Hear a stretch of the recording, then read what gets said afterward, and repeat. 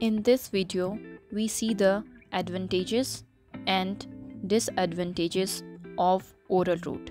As we all know that the oral route is the route of administration in which we give the drug by mouth.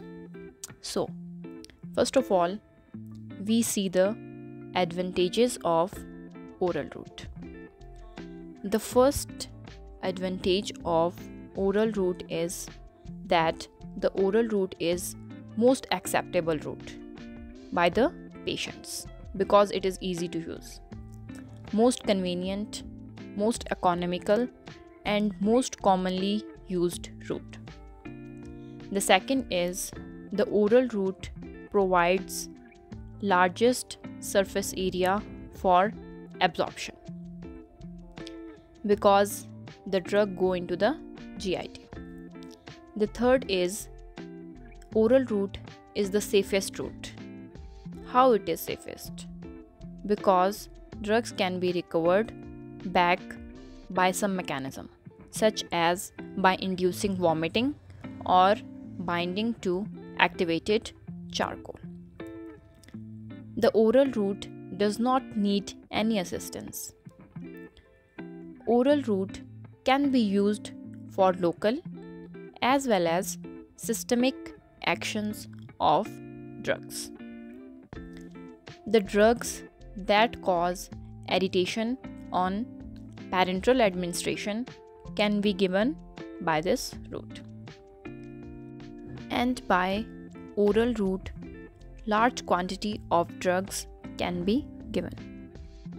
Now let's see the disadvantages of oral route.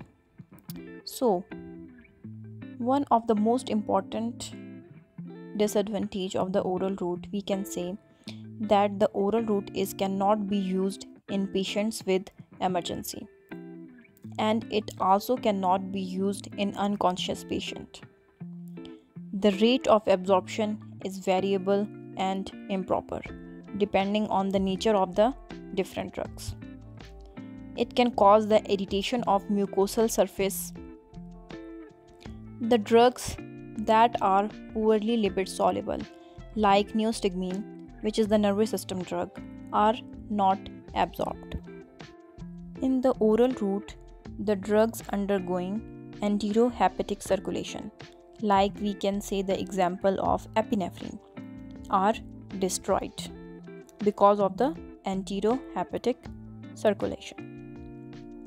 Any pathological condition of GIT can interfere with the absorption of drugs.